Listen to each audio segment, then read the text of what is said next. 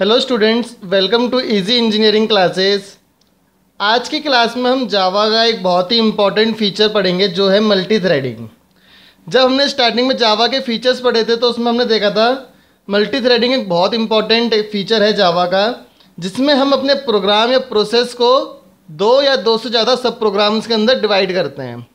And two sub divided programs can be executed at the same time parallelly or concurrently so a multi threading is a program or process that is divided into two or more sub programs which can be implemented at the same time in parallel suppose हमारे पास एक programme है।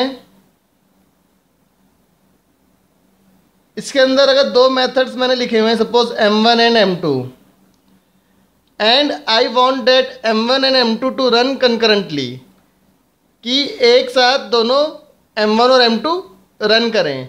तो मुझे क्या करना पड़ेगा? M one को एक अलग थ्रेड बनाना पड़ेगा और एम टू को भी एक थ्रेड बनाना पड़ेगा और दोनों को पैरेलली या कंक्रेंटली एग्जीक्यूट करना होगा। So this is what is known as multi threading in Java that is divided a program into sub programs and execute those programs simultaneously Now let's see what is the meaning of multitasking and the difference between process based multitasking and thread based multitasking. So there are two types of multitasking and generally in theory exams this question comes that what is the difference between processor based and thread based multitasking.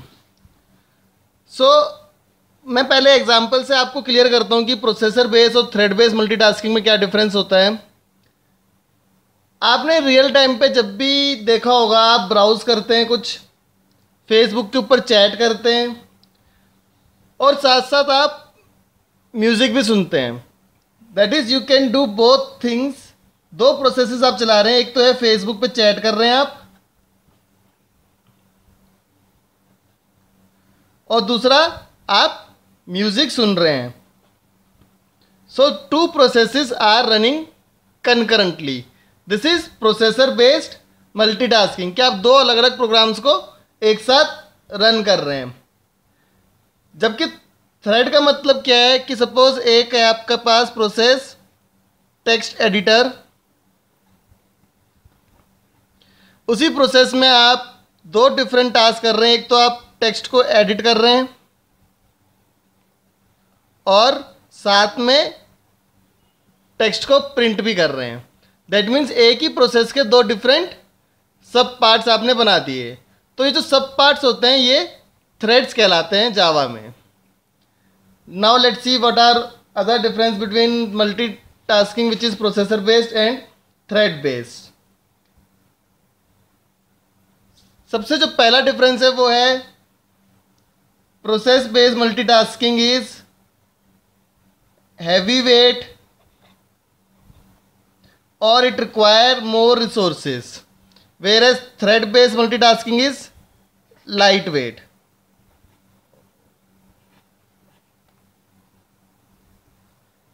Second difference is more than one process running in a program then each process require its own memory address space. So own memory address space is required by processes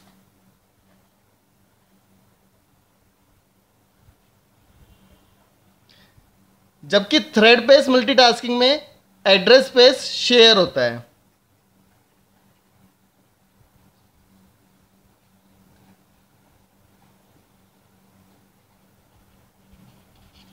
देखिए वो इसी से पता लग रहा है कि अगर दो अलग अलग प्रोसेस चल रहे हैं तो इसको कुछ मेमोरी मिलेगी सपोज़ M1 और इसको म्यूज़िक को दूसरी मेमोरी मिलेगी M2 वेर एज अगर एक ही प्रोसेस चल रहा है सपोज़ M मेमोरी में टेक्स्ट एडिटर तो जितने भी थ्रेड्स बनेंगे सपोज़ एडिट टेक्स्ट या प्रिंट वो दोनों कौन सी मेमोरी को एक्सेस करेंगे?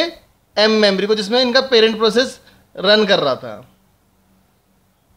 Another difference is inter process communication is expensive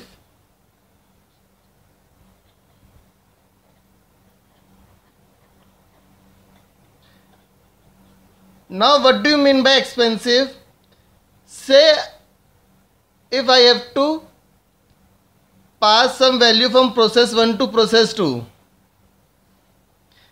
so so, क्या होगा? सबसे पहले process one needs to find the address of process two and then it can send the message and finding an address needs more resources than sending a message in the same memory space अगर यहाँ पे मुझे एक process है P इसकी एक memory है M इस प्रोसेस के दो थ्रेड्स बने T one and T two इन दोनों को आपस में कम्युनिकेट करना है तो टी वन को ये पता है कि वो उसी मेमोरी एड्रेस में जिसमें टी वन टी टू होगा। So in this inter thread communication is cheap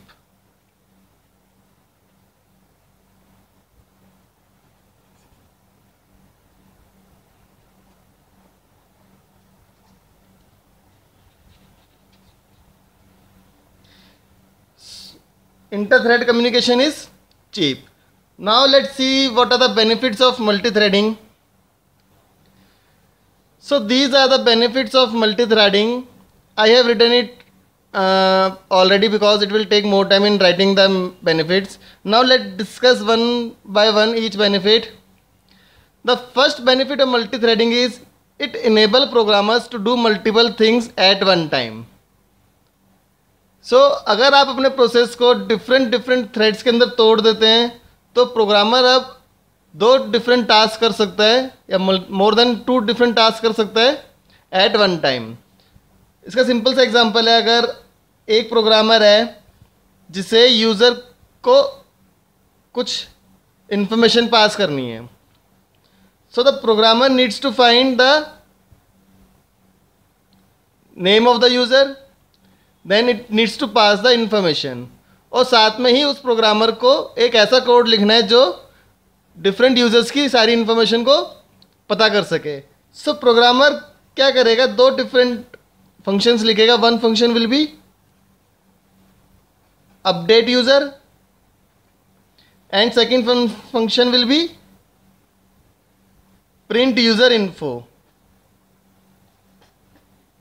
and these two functions can be run concurrently as these are two different threads of a program.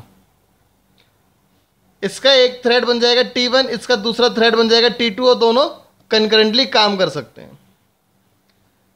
ना programmers can divide a long program into threads and execute them in parallel which will eventually increase speed of the program execution say there are different methods m1 m2 and up to m10 ten ten methods हैं आपके programme में। अगर ये threads ना होते तो क्या होता? पहले m1 रन करेगा, फिर m2 एंड सो ऑन एक के बाद एक सारे रन करेंगे। बट अगर इन सबको मैं थ्रेड बना देता हूँ T one T two up to T ten then these threads can run concurrently and जो आपका टाइम होगा एग्जीक्यूशन का प्रोग्राम का, वो कम हो जाएगा। Third point it improves performance and concurrency which is very clear because more than one program or more than one thread of a program is running concurrently and simultaneous access to multiple applications जब बहुत सारे threads आपके एक साथ काम करेंगे then it will provide simultaneous access to multiple applications So this is the basic of multi-threading. Difference between processor based, process based multitasking and thread based multitasking. And we have also discussed various benefits of multi-threading. In the next lecture, we will see the life cycle of thread. Thank you for watching the video. Please subscribe to the YouTube channel for more tutorials on Java and other computer science related subjects. Thank you.